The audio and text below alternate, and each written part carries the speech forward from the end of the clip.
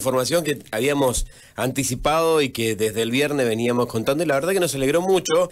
Siempre cuando hablamos de mm, tierra, de la Quinta 183, de la escuela, se había armado un conflicto de partes, estás de un lado, estás del otro, hace mucho que le corresponde, que no le corresponde, de quiénes son. Bueno, la verdad que vamos a empezar a dilucidar toda esta cuestión que tiene que ver con la quinta 183 en Patagones.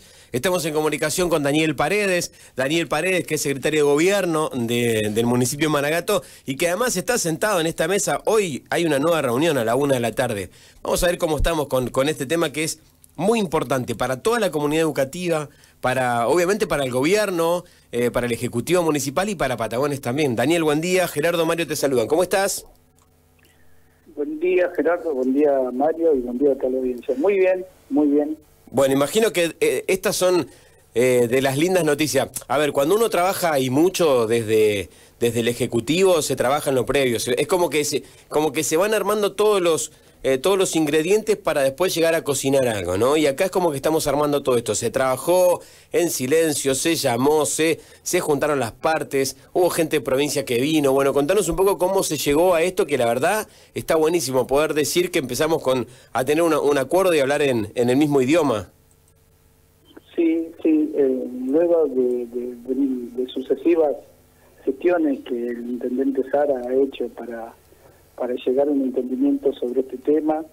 Eh, y bueno, y después de, esta situación ¿no? que, que, ha sucedido entre la escuela y el municipio, eh, por supuesto que a nosotros siempre nos preocupó eh, la situación y aparte nosotros sabíamos o entendíamos que también había generado en la sociedad una cuestión de la que vos decís, ¿no? de saber o de, quién está a Y la verdad que a nosotros este, eso este, no, no nos preocupó mucho porque nosotros este, siempre de la gestión siempre defendimos todo lo que es la escuela pública.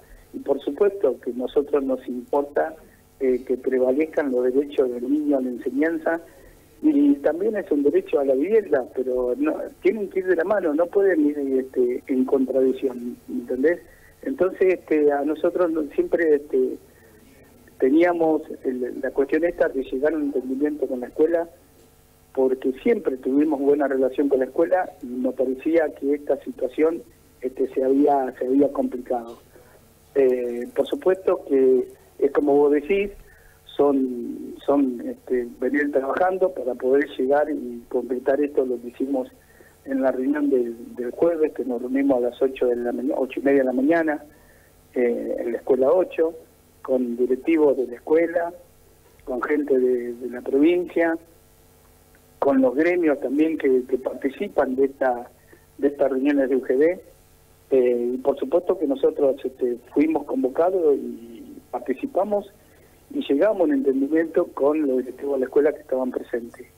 Eh, por supuesto que a nosotros no, no, no, nos, nos llena de satisfacción esta, esta situación ¿no? de poder volver a tener este buenos lazos con la escuela, porque nosotros seguimos, seguimos trabajando junto con la escuela porque tenemos otros proyectos, por ejemplo el proyecto de riego, que lo estamos, que lo estamos llevando a cabo, pero esta situación no había... Para que asegures tu auto, comercio, hogar, moto, pyme o empresa, contactate a... Sí nos preocupaba.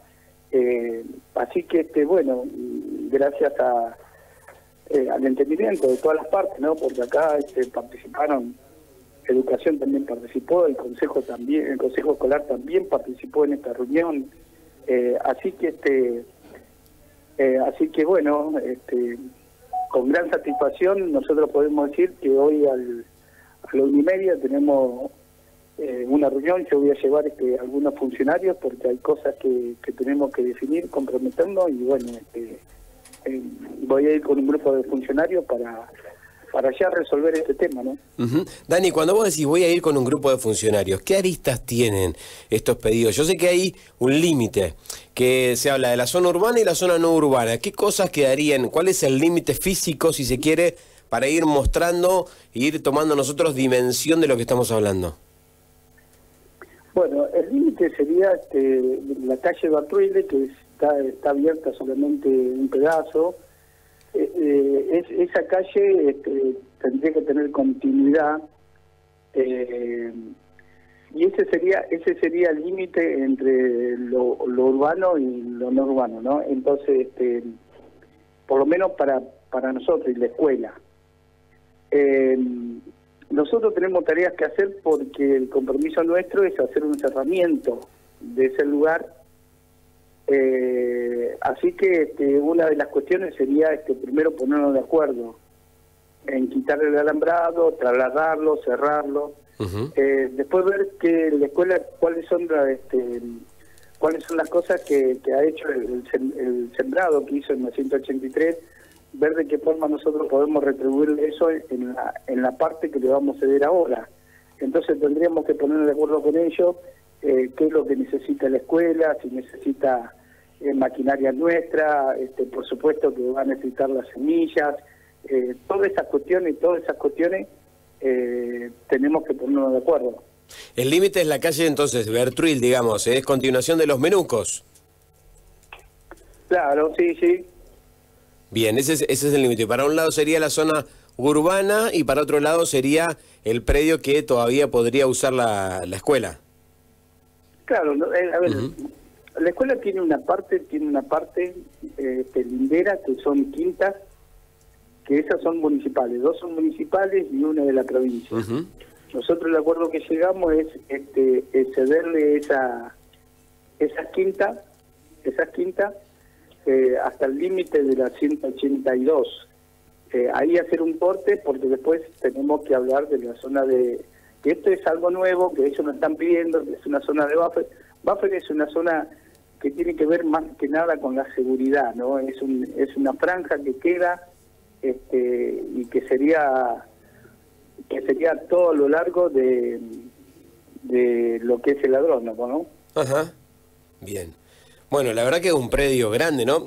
También pensando en esto, Dani, en, en la proyección que tiene Patagones, en la continuidad que sé que el Ejecutivo quiere tener en cuanto a la proyección de los servicios, de seguir ofreciendo lotes, de, poder seguir ampliando esta posibilidad de, poder ir solucionando de alguna manera o acercarnos un poco más a la cantidad de gente que necesita de una solución habitacional. Y creo que ese es el lugar, por eso también se, busca tanto esta posibilidad de charla, de, de, de entenderse y también de ceder algunas cuestiones, ¿no? De, bueno, qué se necesita de un lado, qué se necesita del otro.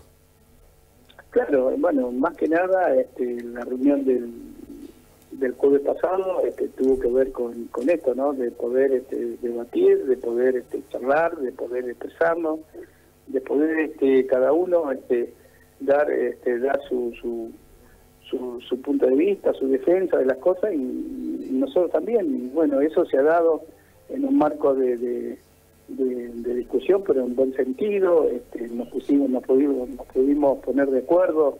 Eh, vos imaginate que eh, había también representantes gremiales, entonces era era este, un debate que se que, iba tomando dimensión, pero también al mismo tiempo iba iba teniendo un sentido de, ponernos de acuerdo con la escuela y, trabajar juntos, que es lo que nosotros queremos, ¿no?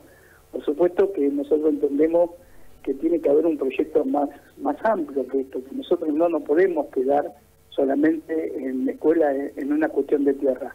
Nosotros tenemos que ayudarle a la escuela para que la escuela tenga la dimensión que tiene o que tenía antes, volver a eso, ¿no? Entonces, también estamos trabajando nosotros para poder lograr este, un, proyecto directorio, algo, algo que la escuela tenga una mayor, mayor relevancia que la que tiene hasta ahora.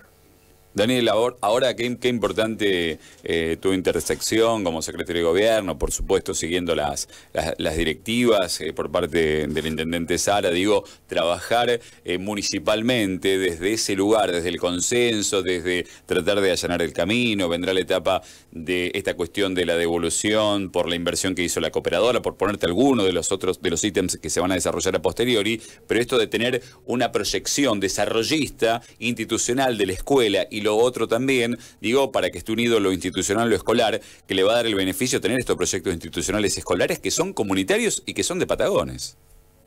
Por supuesto, por supuesto.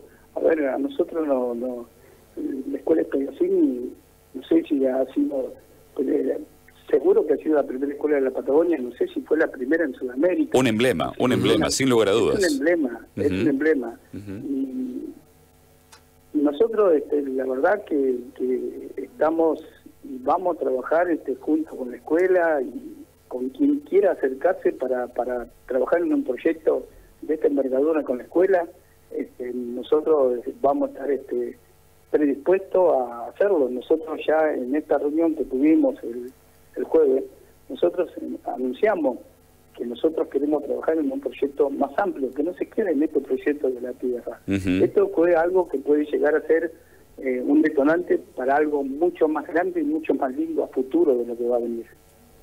Bueno, la verdad que nos pone muy contentos, eh, creo que, que, a toda la comunidad, ¿no? A quienes participan activamente, ya sea de la comunidad educativa, porque además sé también que esto, detrás de todo esto hay un apoyo institucional de la municipalidad, de un apoyo del Ejecutivo, para con, la escuela, con un montón de proyectos que se vienen luego y que tienen que ver con esto, con seguir apoyando la educación en esta escuela que es emblemática para nosotros y que es un ícono para nosotros. la Escuela Agraria Carlos Espegacini es conocida en todos lados y la verdad que hemos eh, hemos tenido la posibilidad de que nuestros estudiantes nos representen en un montón de lugares y que estén diseminados por, por todo el, partido de Patagones, aportándole calidad, estudio, profesionalismo, pero también en un montón de otros lugares, trabajando en el INTA, trabajando en un montón de, entidades que nos representan y, y salen de la Escuela Agraria Carlos Totalmente, una identidad, aparte de una identidad pedagógica escolar de acá de Patagones, que es una bandera, es un símbolo. y ni hablar del crecimiento que podemos tener exponencialmente para el lugar. Daniel, muchas gracias como siempre. ¿eh? No, no, el agradecido soy yo y que tengan buen día. Un abrazo, gracias. Daniel Paredes, secretario de Gobierno, charlando con nosotros sobre esta eh, primera reunión y este acercamiento entonces entre las partes. Hoy, 13.30, nueva reunión, ¿eh? otra reunión más, y ahí veremos qué cosas se van a ir conociendo. Ya sabes, el límite es la calle Bertruil. Yo no tenía ni idea cuál era, menos mal que David me ilustró de cuál era la calle Bertruil, es la continuación de los menucos. Es un que GPS con patita, David, ¿no? Sí, exactamente. GPS. Camina. Eh, que digo, eh, la, calle es la que ingresa frente al Parque Industrial de Patagones. ahora sí. Que te, hago una referencia. frente al Parque Industrial de Patagones, calle ancha. Sí, sí. Ella es los menucos. Y después se transforma en Bertruil. Pasa eh, pasa, pasamos la Celedonio Miguel y ahí se transforma en el Truil. Y ahí ese es el límite que marca para un lado lo urbano y para el otro lado lo eh, no urbano, precisamente. Lo rural, digamos. Tal cual. Restan dos minutos para las 11. Quédate, ya estamos con el final de la primera mañana. En este lunes, 4 de julio, te acompañamos hasta las 11 en Haciendo Patagonia 2022. De lunes a viernes, de 8 a 11. Pablo Fedorco está en Patagonia 90.5.